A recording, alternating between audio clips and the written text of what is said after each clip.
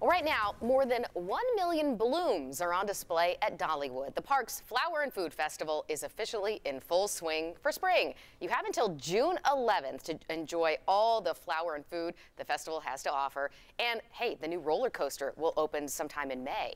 Katie Inman is getting an up-close look at how a new exhibit is all a buzz at the park. Hey, Katie, I'm waiting for more of those puns.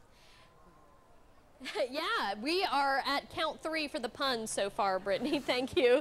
Dollywood just wrapped up the first full weekend of the Flower and Food Festival here. And just walking through the park, you'll see the umbrella sky. You'll smell the creative cuisine, and you'll also be in awe by all of the beautiful blooms. Also new this year is an exhibit, an ode to nature's noble pollinator, the honeybee. Alan Frankenberg, he is a local honey farmer, beekeeper, and you opened up this brand new stand. Tell us a little bit about what this is. Yeah, so with Huckle Bee Honey, uh, we try to focus on mainly just really educating the uh, younger generation and some of the older uh, generation as well. We uh, we brought a bunch of bees. We have an observation hive that has about 30,000 bees in it, really just to teach and educate people, teaching them about the larva, how important it is to uh, really save these bees. You know, our lives really depend on it. So uh, just excited really to be a part of uh, Dollywood and the uh, Flower and Food Festival.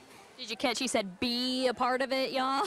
but why is something like this, this educational aspect, brand new this year for this festival? Why is it important to have? Yeah, I mean, really, like I said, educating people. Uh, you know, a lot of people use pesticides and a variety of other uh, things for flowers, fruits, and vegetables. You know, there's so many different alternatives uh, to be able to save these. So, you know, we're constantly in the battle. It's, you know, the bees are in a decline, as everybody knows.